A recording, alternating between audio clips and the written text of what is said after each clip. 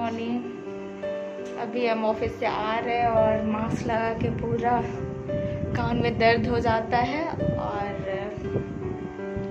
लग रहा है पूरा घाव हो जाएगा मास्क के कारण। लेकिन क्या करें, लगाना है। तीन घंटे लगाना है, एकदम लगता है कि कब निकाले कब निकाले, लेकिन निकालना है नहीं, क्योंकि निकालेंगे तो डांट मिल जाएगा। वैसे भी सब कोई कोई बाहर से आते हैं, हम लोग वैसे तो मॉर्निंग में कैंपस वाले ही लोग रहते हैं, क्योंकि बाहर वाले लोग साढ़े दस में आते हैं और दो बजे तक वो लोग रहते हैं।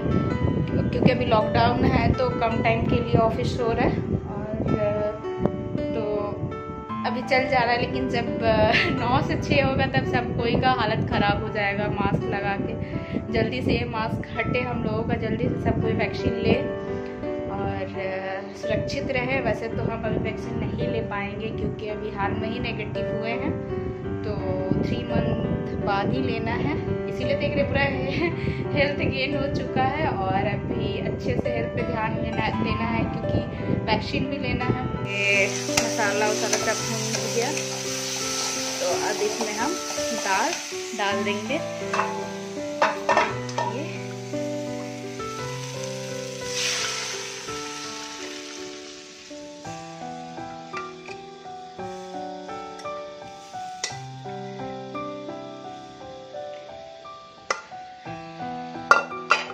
ऑफ़िस से आने के बाद भूख लग रहा है, पर नाश्ते में कॉर्नफ्लेक्स खा के गए थे, क्योंकि सुबह उतना हो नहीं पाता है कि कुछ बना के खाए और लेके जाए।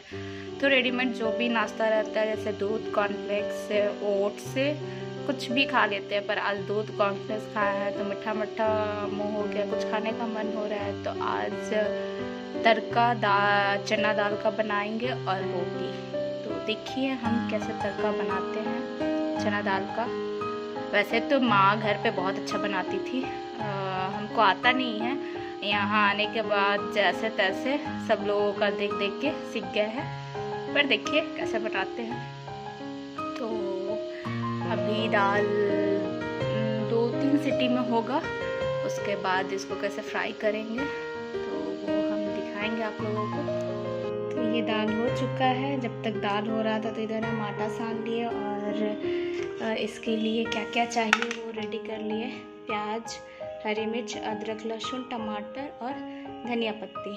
धनिया पत्ती आज फिर गार्ड अंकल के ही बगान से लेकर आया है, क्योंकि वहाँ पर ताज़ा ताज़ा मिल जाता है और हम लोग लेकर आते हैं तो सूख जाता है फ्रिज तो हम लोग रखे नहीं हैं। तो वहाँ पे है तो अंकल बोलते हैं, तुम लोग यूज़ कर सकते हो। तो हम लोग वहीं से लाते हैं। और देखिए, मेरे पास काटने का ये इसको बिहारी लैंग्वेज में फसूल बोलते हैं।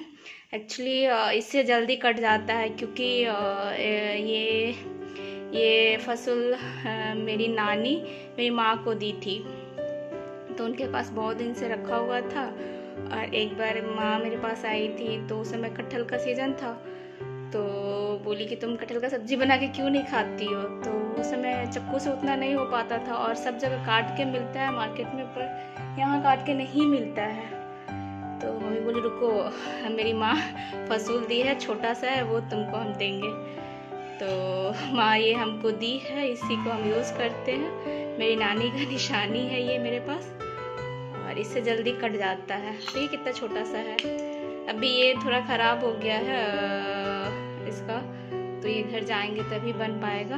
तब तक इससे काम चला रहे और कैसे बनाते हैं। ये बन के रेडी हो गया। ये और थोड़ा इसमें पानी कम होना चाहिए, पर मेरे से ज़्यादा हो गया। कोई नहीं। किसी को देना नहीं है, खुद खाना है। तो वैसे देख के तो टेस्टी ही दिख रहा। है और ये बन गया है। तो ये हम धनिया पत्ती डाल दिए इसमें, ये बन के रेडी हो गया।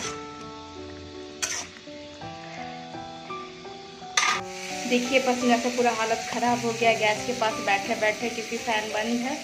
रूम में ही, आप सबको पता ही है, रूम में ही मेरा किचन है, जिसके कारण बहुत ज़्यादा गर्मी लग रहा है और गर्मी है भी वैसे बहुत ज़्यादा। तो क्या करें? खाना इसी में बनाना है और भूख भी लग रहा है। तो ये देखिए, बन के रेडी हो गया। रोटी, दाल, चना दाल और ये आम। इसी को अब हम खाएँगे। तो ये मेरा खाना बन के रेडी हो गया। अब इसको हम खाएँगे। पूरा पसीना से भींग गए हैं और हालत ख़राब हो चुका है। तो अब इसको खाने के बाद हम रेस्ट करेंगे और रेस्ट करने के बाद पढ़ना लिखना स्टार्ट होगा। दो बजे तक हम उठ जाएँगे सोकर क्योंकि रात में भी अच्छे से नींद नहीं हुआ है। बहुत ही ज़्यादा गर्मी था। पूरा परेशान हो गए थे।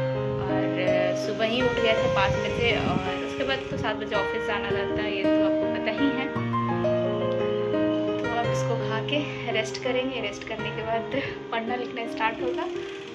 तो कैसा लगा मेरा वीडियो आप सब बताएँ कमेंट सेक्शन में। अगर आप मेरे चैनल पर नए हैं तो सब्सक्राइब करें और लाइक करें। शेयर ज़रूर करें मेरे चैनल को और आप सब मेरा सपोर्ट ज़रूर करें।